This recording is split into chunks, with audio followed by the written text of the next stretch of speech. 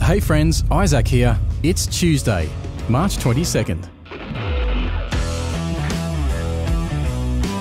Welcome to the Living the Dream Show with Kevin White. Kevin is a best selling author. international speaker, and global brand publisher. He's the founder and executive director of Global Hope India and the CEO of Spirit Media. As a serial entrepreneur, Kevin has helped start hundreds of churches businesses, And nonprofits throughout the world. Today, Kevin is joined by Temsula Bass of Nashville, North Carolina. Temsula is a sister in Christ, friend, and board member for Global Hope India. Put your hands together and let's welcome Kevin and Temsula to today's show. Good morning, everyone. Welcome to Living the Dream Show. I'm Pastor Kevin White, founder and executive director of Global Hope India and CEO of Spirit Media. And I'm so excited for today's episode. It's a continuation of what we started last week. Today is March the 22nd, and we are mm-hmm. looking at Joshua 1 9. And I am so thankful for my co host, Temsula Bass from Nashville, North Carolina. She was made and born in India. in But- India. yeah, but we happen to share the same state of North Carolina at the moment. How are you today? I'm doing good. And how are you, Kevin? I'm doing well. Thank you. We welcome everyone on YouTube. If you're watching, thank you for peeking in on today's episode. And if you are listening in, wherever podcasts can be heard, uh, I assure you, you are not listening by accident. God has a great word for you. We're actually breaking the part of Joshua 1 9 down. Last week we talked about do not, I mean, it says be strong and be courageous. And what a powerful word that is. I encourage you to go back and listen to the January 15th episode if you happen to miss that. But today on March the 22nd, we're actually going to just look at four words. Do not be afraid. Powerful words, uh, words that we can listen to every time we go to church and then and then we leave church and all of a sudden life happens and now we're afraid again. And so how do we actually follow these instructions because this is Almighty God speaking to Joshua. And he is the same God. He's not going to tell Joshua, be strong and courageous, do not be afraid, and then tell you and I, um, okay, it's 2022. I didn't realize all this was going to happen with, with all of this turmoil around the world. So you might as well just break loose with a bunch of fear. He's not going to do that. Today, you- and I can rest assured he's still guiding lovingly with the instructions do not be afraid. Afraid. Temsula, break that down because we really want it to, by the time we end the episode, we want this to be very practical for everyone in the Yes. audience. Last week we talked about how God commands us. Have I not commanded you?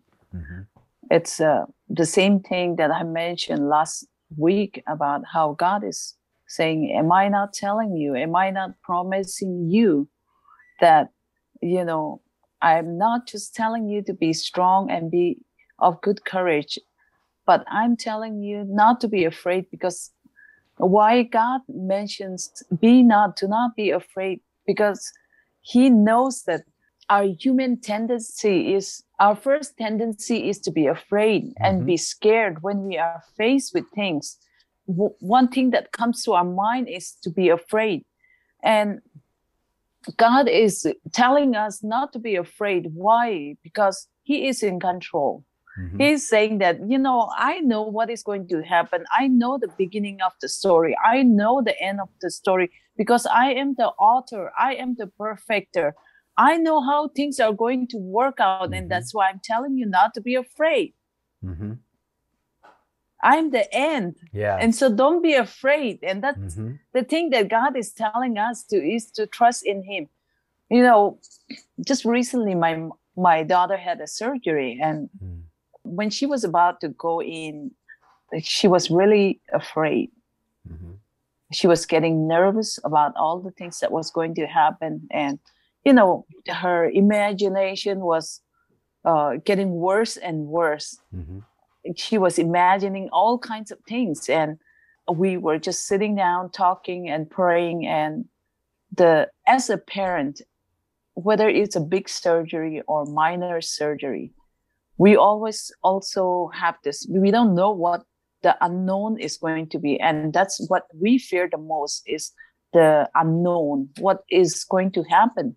What is the outcome going to be? But I had such, you know, as we were praying, I had this peace that, you know what, God knows the end, and that's all that matters. I don't have to be afraid. I don't have to, uh, you know, give in to fear because the fear is from the enemy and not from God. Mm-hmm. And we were talking, and she had such a peace about it when she finally went in. And Mm. Uh, when she came out, her thing, her comment was like, "Mom, the doctors are so nice. They give you all this, the shots to make you feel so good." Mm-hmm. and even the nurses after you're done they give you ice cream who does not want to come here and you know the Mhm. the outcome was better than what she had expected or she thought about and that's the same thing you know i'm not saying that in everyday situation that's how it's going to be but whether we live in this world or whether god calls us home either way the outcome when we trust in god the outcome is far better than what we are thinking. And that's one of mm-hmm. the reasons why god is promising us to not be afraid. Why? Because i'm the end. I know how it's all going to end. So because i know it that's why i'm giving you this promise that Mhm. you should not be afraid don't let the enemy deceive you into letting your life you know living your life in fear that you don't get to enjoy all the blessings that god has in store for you and so i i just want to share that you know to trust in god not to be afraid that he has the best interest Mm-hmm. for all of us and that he knows what he is doing and he knows how it's going to end the only thing that we have to do is believe in that promise Mm-hmm. yeah, so kevin what about you Yeah, I'm so thankful for a heavenly parent that assures Yes. us like this. One of the favorite hymns growing up from a rural country church um, was the hymn Blessed Assurance Jesus is mine. jesus is mine Yeah. And that's what God is offering us through this passage. I want to make clear we are not here acting as if fear doesn't happen. Temsula's not uh, suggesting that God is waiting to scold us if we feel fear. I'm not suggesting that. Let's just all agree, everyone in the audience, hold up your right hand if you have ever been afraid. Every one of us, yes afraid us. happens, but it doesn't have to stick. That's what God Mm. is saying. Fear happens, but it doesn't have to become a character, it doesn't have to characterize your life. You should have authority over your fear instead of fear having authority over you because of Almighty God. Now, apart from Him, we would be doomed. We would have no confidence of any type of blessed assurance, but because of Him, we have a Heavenly Father that is basically taking what you and I would appreciate a mom would do if a child hears a crack of thunder outside their home. A mom or a dad would look at that child who is now very unnerved because it sounds like a bomb blast to them and they think my house is going to fall down on top of me. Mm. The mom or dad would immediately reassure them that is a storm and we are protected by the house. Now, obviously, mm. unfortunate things happen with tornadoes and tsunamis and all kind of different natural disasters. But most of the time, when we hear thunder outside, it doesn't impact us inside, but it can create a sense of fear. However, we don't have to stay there. As soon as that thunder's gone and the parent uh, reassures the child, you are safe, do not be afraid. That child now has a choice. Am I going to trust mom and dad or am I going to give in to my fear? and go hide under my bed for the rest of my life. Each of you and I, all of us, we have similar choices in how we mm. process fear and what we do with them. When God is saying, do not be afraid, He's not saying you are wrong to, to be afraid. He's saying, don't stay there. It would mm. be wrong for you to stay there with me having authority over your life. And, and so exchange your fear for the presence of God. That's mm. what that's what God is really inviting us to do. To exchange our fear. Fear happens, afraid happens, but we can mm-hmm. exchange it for the presence of God. He is not afraid of thunder. He is not mm. afraid of a tornado.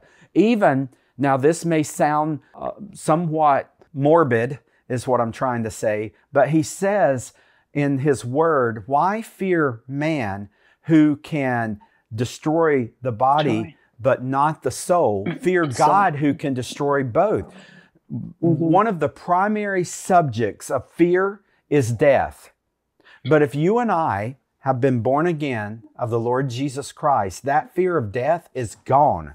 Now, you can still allow it to control you if you choose, but because of Jesus, there's no more fear of judgment, mm. fear of death. To be absent from the body is to be present with the Lord. Mm-hmm. God forbid a tornado destroy our house and take us to heaven, but if it does, we're going to heaven. Mm-hmm. And so mm-hmm. there's really no more subject of fear because of Christ. I'm not saying run into a crowded intersection and get run over. I'm not saying blow up a piece of dynamite holding it in your hand. God's given us wisdom, not stupidity, but we don't have to be afraid of what we can't control. That's the whole point. Yes. Yeah. Yes. Any final And, uh, words? I mean, yeah. it it's the same thing like how Peter before during the crucifixion he was afraid, hmm and that's something that we all go through. hmm And yet, you know, you would think that oh, he was fearful, and God is not going to use him anymore. That's what we would think. hmm But no, because of his obedience, he did not let himself stay in that fearful situation. But what happens is you see in Acts how he was, he just became a different person. That instead of living in fear, he began to live with boldness for Christ. Not that we become bold to do the wrong thing, but be bold to do the right thing. Yeah. Be bold to walk in the right path. Be Mhm. bold to love God passionately the way He intends you to be. Mhm. And God is there to, He promises, just like in Isaiah, He talks about, you know, Isaiah 41, verse 10 Mm. fear not, because He knows that we are going to be afraid. Why Mhm. would the Word of God keep saying, fear not, do not be afraid? It's because we are human and we, Mhm. God knows that we are going to be afraid. Mhm. And so this is an assurance that he's giving us saying that I know you are going to be afraid. And so I'm telling you, I'm going to be with you. Don't be afraid. Mhm. You know, overcome your fear. And for I am with you. Be not dismay- dismayed, for I am your God. I will strengthen you. I will help you. I will uphold you with Mm. my righteous right hand. And those are the promises Mhm. that God gives us constantly that I'm going to be there. I will strengthen you. I will do this. I will do that. That's what God is promising us. Mm. And so let's not put up our hands and say, No, God, I can do this on my own. Mhm. I will handle my life. You know, you stay over there and let me handle it myself. Mhm. Not like that, but you know, surrendering surrendering our life to God and not be afraid. You know, sometimes when we are afraid of of uh, man and not of God, that's when we go in the wrong directions. Mhm. But instead of being afraid of men, take in the promises of God of saying, do not be afraid and being courageous and not be afraid to follow God, to follow his word, what he commands us, and, you know, standing in the word and not being afraid to proclaim that Jesus is your Lord and Savior and he is your master and saying that if I live, like Paul said, I live for Christ. If Mhm. I die, it's going to be a gain. Mhm. And so let's live in that, you know, being courageous. Let's not be afraid. That's what uh, I just wanted to encourage all of us, me including, and my family, all of us, because we live in a very uncertain time and let us not live in that fear of uncertainty, but know without a shadow of doubt that God knows the end. He Yes. is the one that has written the story from the beginning to the end. He knows the end part of it. Mhm. And so let us trust him yes. that he knows what is the ending part of the story and let us not Amen. live in fear. yeah. Amen. Amen. Yeah. The word actually says, fear not, 365 times. And there happens to be 365 days in, in our calendar. and so there's a fear not for every single day. It's important that you and I hear these words do not be afraid. Be afraid. As a loving instruction, as an authoritative promise over our life. This is the Living the Dream show. It's not Living the Nightmare show.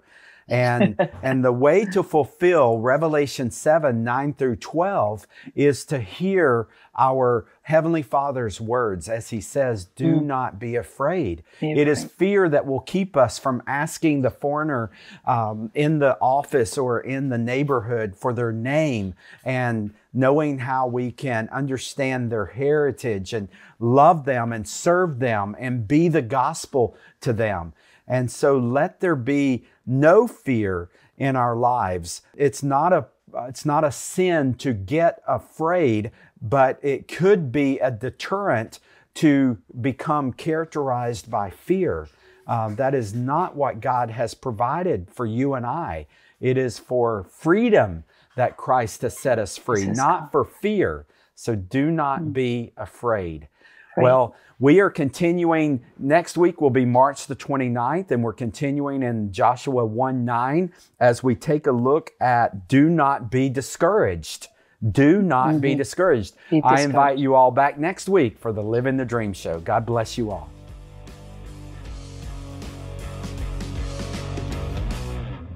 Three billion people still have limited to no access to know about Jesus. Just how many is 3 billion people?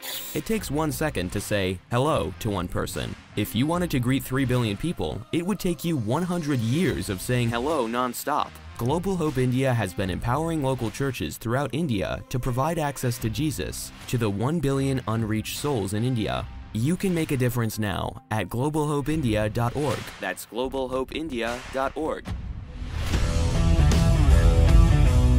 Thank you for listening to the Living the Dream Show with Kevin White. Visit kevinwhite.us and join thousands of subscribers to Kevin's free daily one minute motivation series called Generously Blessed. Generously Blessed. Kevin's books Audacious Generosity and Get to the Point are available in hardback, paperback, ebook, and audiobook at kevinwhite.us, worldwide on Amazon, Barnes & Noble, and everywhere books are sold. Your five star review on Amazon will be greatly appreciated. This has been Living the Dream with Kevin White. Find the complete archive of all episodes at kevinwhite.us or subscribe for free through your favourite podcast player and never miss an episode.